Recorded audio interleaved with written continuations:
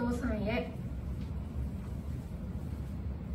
私が中学1年生の頃あなたは酔っ払って乱暴に玄関を開け大きな音を立てながら家に入るとお母さんやおじいちゃんおばあちゃんと喧嘩を始めましたね。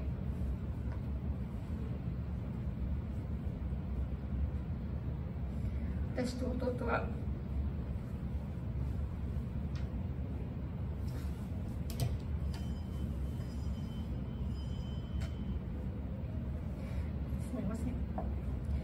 と弟は自分の部屋にこもっていました。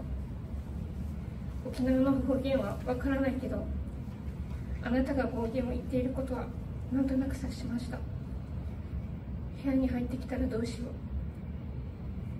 う。何をされるんだろう。私は布団にくるまって寝たふりをしました。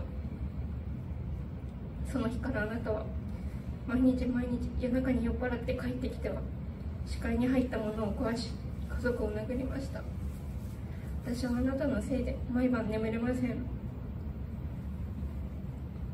それでも頑張って学校に通っていましたが授業に集中できなくなり楽しかったはずの部活も体力が追いつかず休みがちになってしまいました。中学1年生の後半に1回目の限界が来ました。お母さん朝7時にあなたが私を起こします。起きて早く起きないと遅刻するよ。私は今日学校に行きたくないと言いました。あなたは怒りました。まさかこの人も本当は私の敵なのか。私はすごく悲しくて泣くしかなかった。でもお母さんあなたは最後に分かった。学校に電話しとくから明日はちゃんと言ってよ。そう言ってくれたね。その言葉で救われたよ。ありがとう。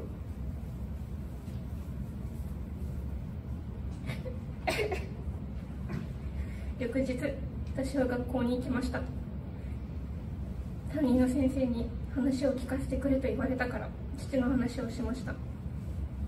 でも私の心は苦しいまま。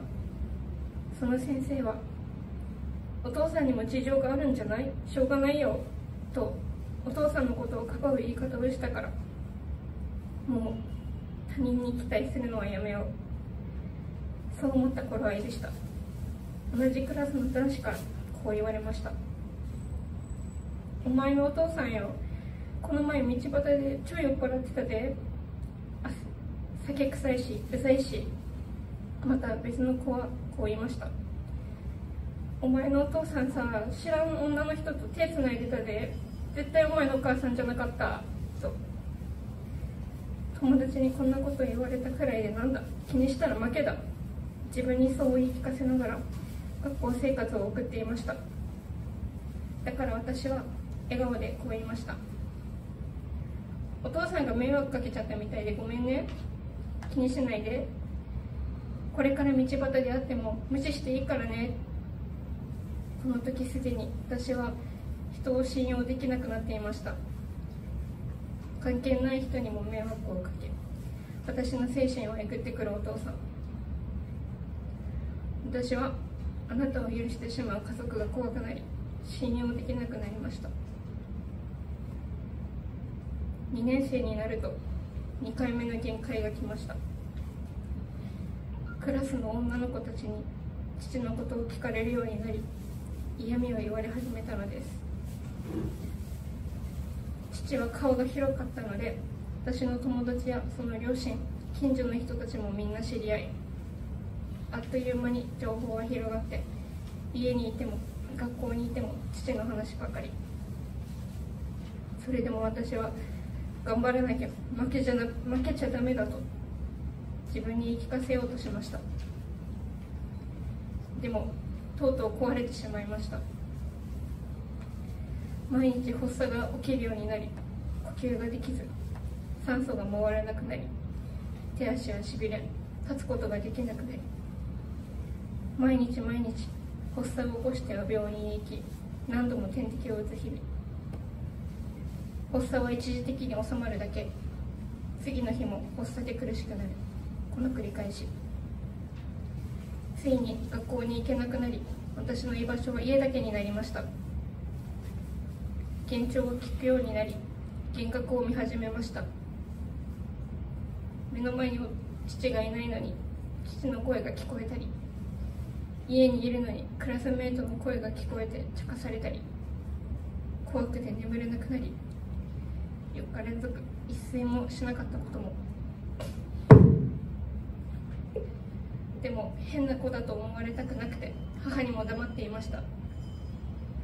完全に人を信用できなくなっていたので誰かに相談しようという気は起きません。一人で悩むことしかできません。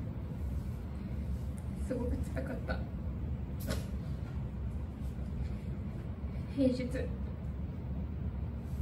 祖父母と母はお仕事へ行き弟は学校へ。私は家で一人。お父さんあなたは酔っ払って家に入ってきては来いと私を呼び出して食器棚や部屋のドアを壊し唯一の逃げ道だったゲーム機器も破壊しました。そして私の背中を殴り頬をビンタ。怖かった。発作が止まらなかった。あなたの圧に押され泣くしかできなかった。お父さん。あなたは全部お前が悪いと言いながら私の私の顔に向かって包丁を投げてきたね。あなたは完全に酒に溺れていたから覚えてないかもしれないけど。私は今でも何度も何度もプレイバックするよ。包丁は腕に刺さって出血。痛かったけどそれよりもすごく悲しかった。お前は殺したくなるほどいらない子だと言われるようで。私が本当に悪いことをしたなら説明をしてほしかった。そしたら私も自分の悪いところに気づいて直せたはずなのに。腕が血だらけになった私を置いてあなたはまた酒を飲みに行きましたね。あなたは私の居場所を奪っていく。家も学校も部活もゲームの中の世界も。その時初めて私は自作を試みました。誰もいなくなった家家で自分の血がついた包丁を自分の喉に向けました。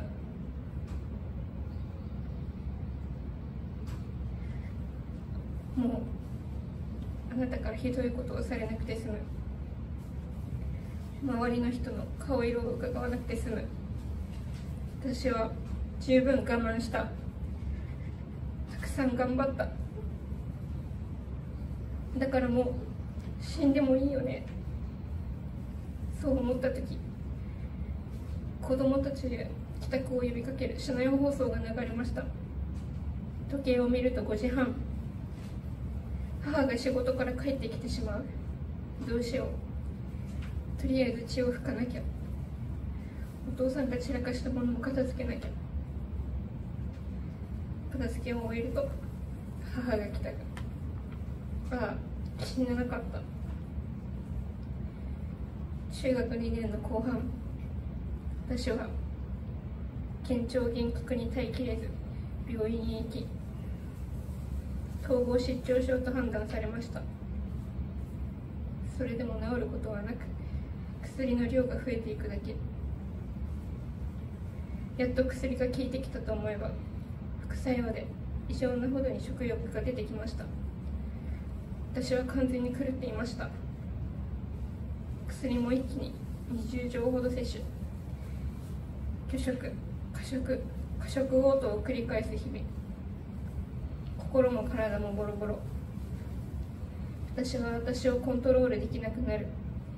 できなくなり母に向かって死ぬと叫んだこともあります。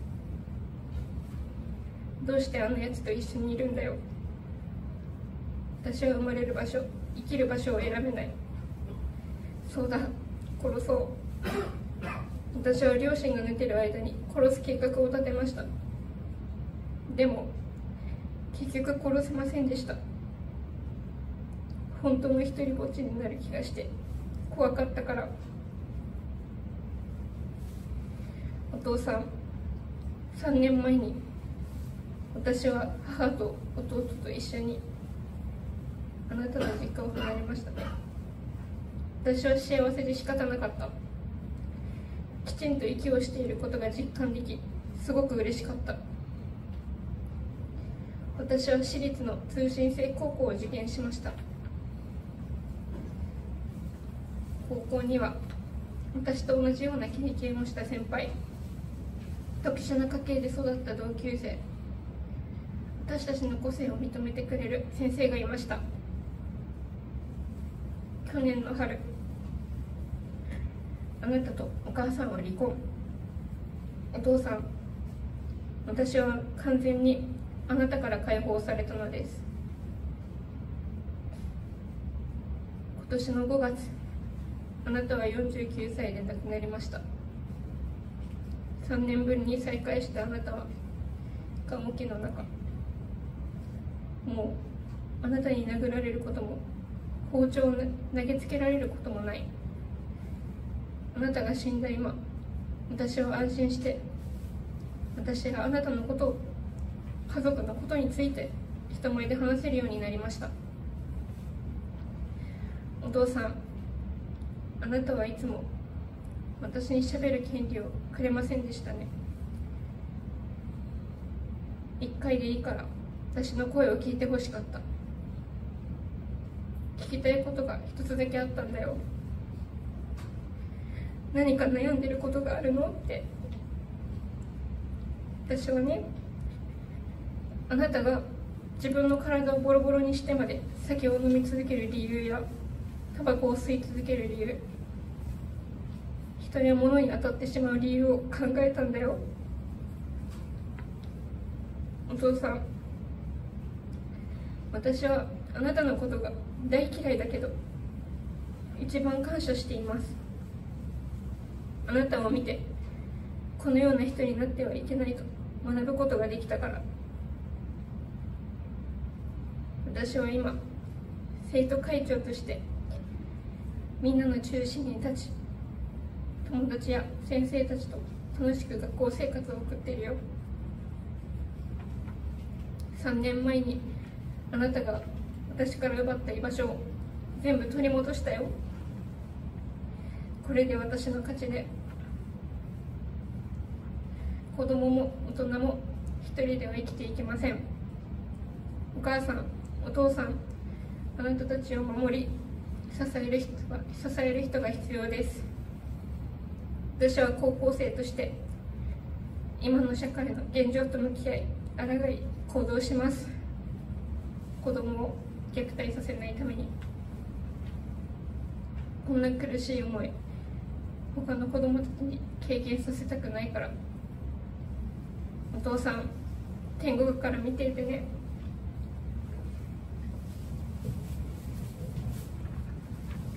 彼女はあの過去に決別するために今日本当に勇気を出して告白してくれました。皆さんも拍手を。ありがとうございます。